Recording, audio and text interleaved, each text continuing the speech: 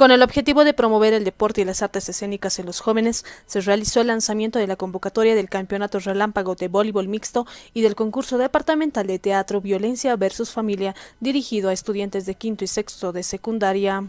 En esta oportunidad estamos realizando el lanzamiento de dos acciones. Uno es el Campeonato Relámpago de Voleibol Mixto, dedicado a los grupos de jóvenes de ciudad y de provincias de nuestro departamento. ¿No?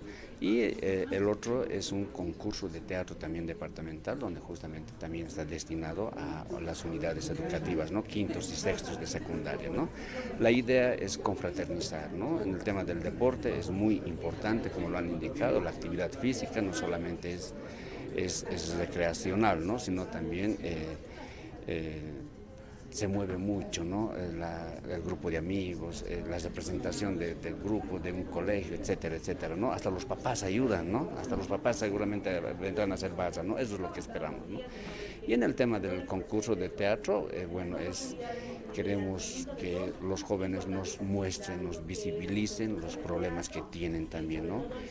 En el entorno familiar, por ejemplo, ¿no? Para que justamente eh, conozcamos y veamos desde, ahí eh, plantear algunas soluciones, ¿no? El campeonato relámpago de voleibol, por ejemplo, es el 11, el 12 y el 13 de septiembre y el concurso de teatro es el 28 y el 29 de septiembre.